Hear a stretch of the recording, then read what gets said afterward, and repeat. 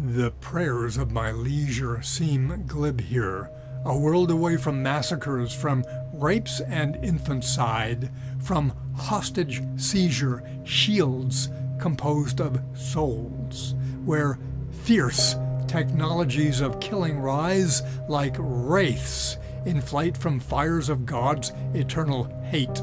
Deranged and blind, they sort the wicked with the just.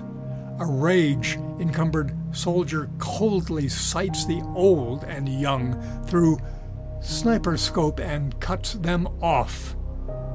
Call better prayer from my lips, O Lord. My God, let heaven overwhelm the world. Let peace proceed from cultivated wills. Let human folly yield. Let your word break the hoops that bind us broken to our death head vaults. Let mercy conquer every thought and calm the sprawling maelstrom of our minds. Suppress the seven headed beast that swells from inky depths to spread its morbid lies, to weld the earth to everlasting death, enslaving souls for never ceasing shame. Forbid my heart to judge, but only plead and hope for like kind prayers in my need.